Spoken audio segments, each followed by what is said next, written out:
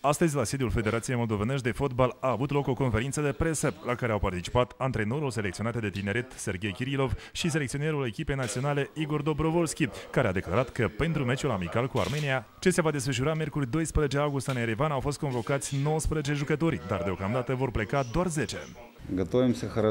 Suntem pregătiți de meci. Nu avem jucători, dar sperăm că la Erevan vom fi tot staful împreună. Dobrovolski nu dispune de informația despre starea fizică a jucătorilor naționalei, dar a menționat că ei sunt bine dispuși. Jucătorii sunt bine dispuși și au moralul ridicat de fiecare dată când ies pe teren. Meciul amical din deplasare dezavantajează mai mult suporterii. Nu avem pretenții referitor la locul desfășurării meciurilor. В этом плане не меняемся. А вот для болельщиков я считаю, что это большой минус.